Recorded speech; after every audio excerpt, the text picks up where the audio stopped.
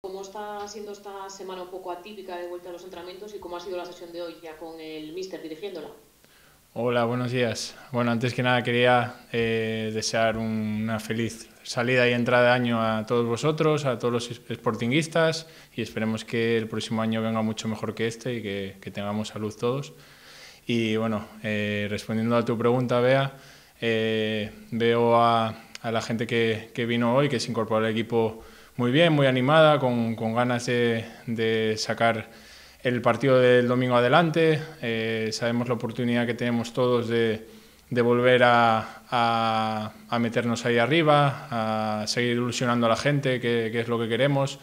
Y, estamos muy concienciados de, que hay que empezar bien esta segunda vuelta y, y seguir trabajando mucho para poder conseguir resultados y, el más próximo es el del Lugo, que es en el que estamos centrados ahora.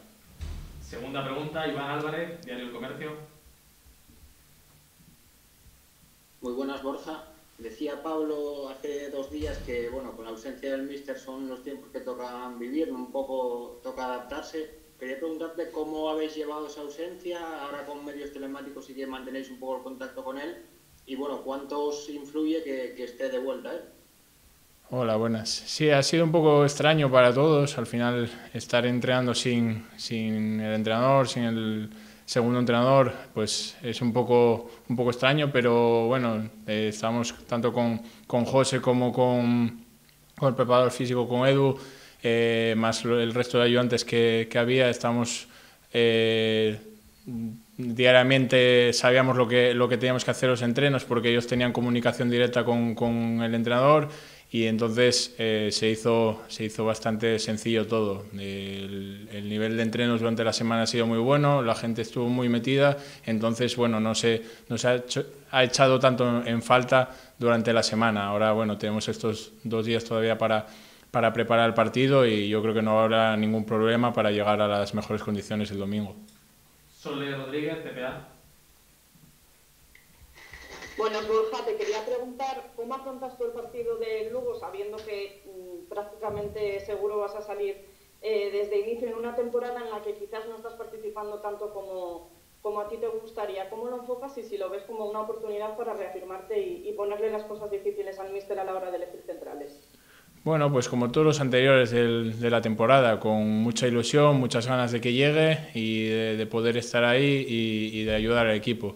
Eh, sabemos en la situación en la que estamos ahora, que, que, hay muchas bajas, que seguramente vaya a tener que jugar gente que no, no, no, no, lo hizo hasta ahora en tantas ocasiones. Entonces, bueno, pues darlo, dar todo lo que, lo que podemos dar nosotros para, para conseguir los tres puntos. Yo personalmente me encuentro muy bien eh, físicamente y, y, espero poder ayudar al, al equipo.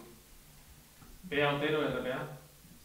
Borja, decía ayer Rubén Alves, el mister del Lugo, que iba a ser un poco una jornada de circunstancias, ¿no? porque venían los equipos del parón, muchísimos eh, futbolistas que habían tenido COVID y se estaban eh, recuperando, que iba a bajar un poco el, nivel en estos, en estos partidos. No sé cómo lo afrontáis en ese, en ese aspecto, también bueno, pues tirando de fondo de armario, y cómo ves al rival, a un Lugo que también estuvo con muchísimos casos y que además va a ser la visita de un amigo, ¿no? como es el caso de Canella.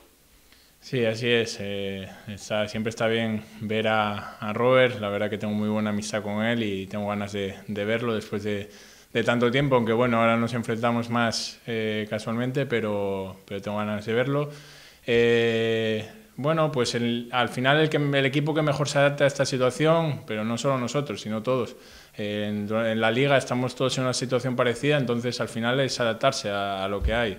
Eh, el nivel nosotros no, no, lo queremos bajar, nosotros queremos subirlo. Entonces nosotros vamos a dar todo lo que, lo que tenemos. Eh, habrá compañeros que, que, igual no estén para 90 minutos, pero si están para 60, pues los vamos a necesitar.